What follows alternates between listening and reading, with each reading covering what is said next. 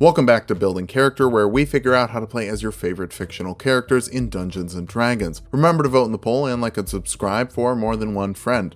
Maybe. Today we're building the greatest detective in literary history, Sherlock Holmes. With deductive reasoning, keen observation skills, and a killer hat, there's no question why he's been reimagined as Cumberbatch, RDJ, and Will Ferrell. It's because he's public domain and getting character rights can be tricky. Just ask Spider-Man.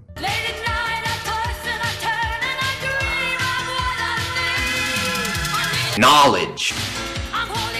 Knowledge.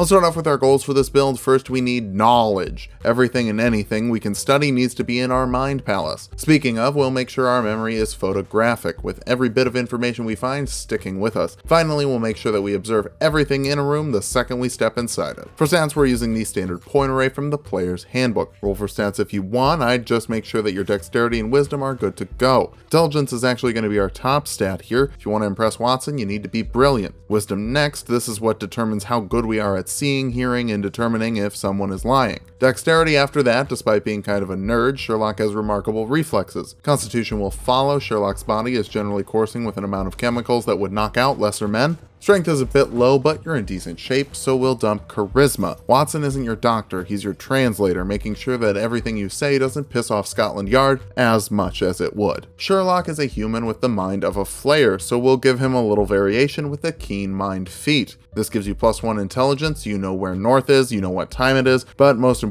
you can accurately remember anything you've seen or heard in the last month. So keep in mind this gets a slight buff in January and a slight nerf in February. Bump your intelligence again and your wisdom with your two free points, take nature for your skill of choice, and the cloistered scholar background for history and arcana proficiency. It's the perfect background for a kid who didn't have a lot of friends. Kick things off as a rogue. First level rogues get four skills from the rogue list. Go for investigation, perception, insight, and performance to play the violin. I'd prefer religion, but that's not an option from the rogue list. You can grab expertise and two skills of your choice, investigation and insight will help you find clues and break liars. Finally, you get sneak attack, letting you deal an extra 1d6 damage to creatures you have advantage on an attack roll against, or if Watson is within 5 feet of them. You have to use a ranged or finesse weapon for this, and unfortunately there isn't a bludgeoning weapon to beat people with a cane, but work with your DM. If they're cool with reflavoring a dagger to be a cane, great. If not, just be a stabby Sherlock. Second level rogues get cunning action, letting you dash, disengage, or hide as a bonus action. You're not a bruiser, you're a tactician. Figure out if it's a fight you can win, and bail if you can't. Third level rogues can choose a roguish archetype. The Inquisitive from Xanathar's Guide to Everything is pretty much Sherlock in a subclass. You have an ear for deceit, meaning the lowest you can roll on an insight check when you're determining lies is an 8. And then it specifies that this is the roll of the dice, so you can still add your modifier for a minimum of 14. You also have an eye for detail, letting you look for clues with a perception check or investigation check as a bonus action, though I wouldn't recommend doing this in a fight. Wrap things up, then look for clues. To wrap things up more quickly, use insightful fighting. This lets you make an insight check against an enemy's deception check. If they fail, you get to add your sneak attack damage to them, as long as you don't have disadvantage for up to a minute.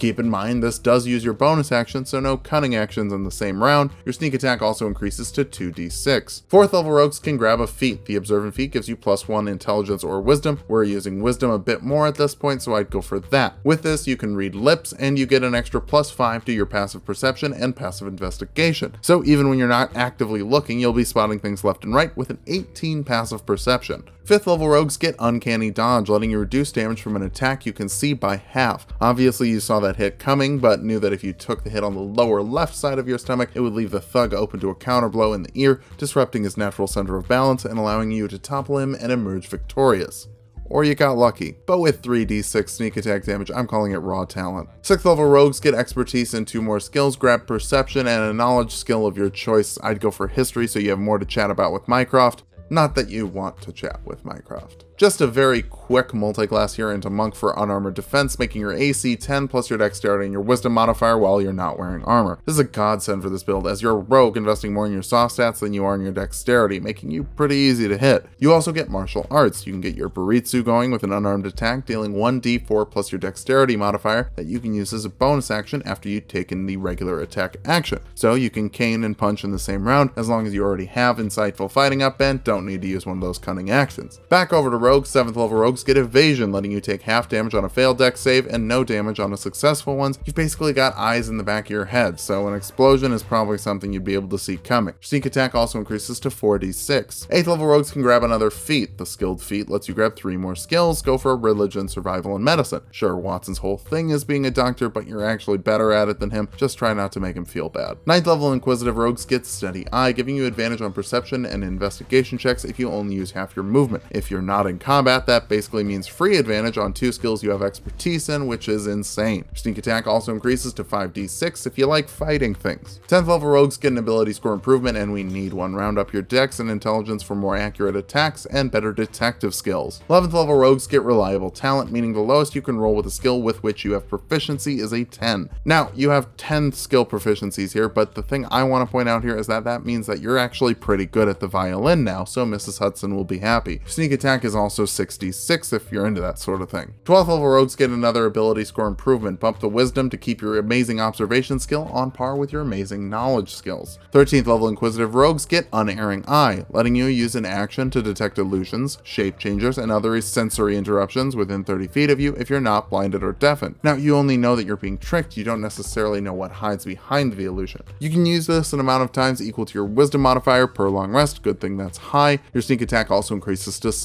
7d6. 14th level rogues get blind sense, making you aware of any invisible creature within 10 feet of you as long as you can hear. Between this and your 19 passive perception, nobody is going to get the drop on you. 15th level rogues get slippery mind, but that's slippery to your enemies, not yourself. Gives you proficiency with wisdom saving throws, making your wisdom save plus 9. Hold person and charm person aren't big concerns, but Irene can still charm and hold you if you want her to. Also, 8d6 sneak attack, that sounds fun. I think it does. 16th level rogues get another ability score improvement. I'd say Camp Wisdom. It buffs your AC, helps your insightful fighting, passive perception, and active perception, all very Sherlock things. 17th level Inquisitive rogues get an eye for weakness, increasing your sneak attack by 3d6 when you have your insightful fighting active on a creature. You also get the standard sneak attack buff that you get with every odd numbered rogue level, so you've got 12d6 sneak attack at this point. 18th level rogues are elusive, meaning that as long as you're not incapacitated, no attack has advantage to hit you. You've already seen the whole fight play out before it started in your head. How could someone surprise you? Capstone is the 19th level of Rogue for an ability score improvement. Cap your intelligence for a plus 17 modifier to investigation checks. Nothing can hide from you, at least not for long. Your sneak attack damage also increases to 10d6 or 13d6 with insightful fighting.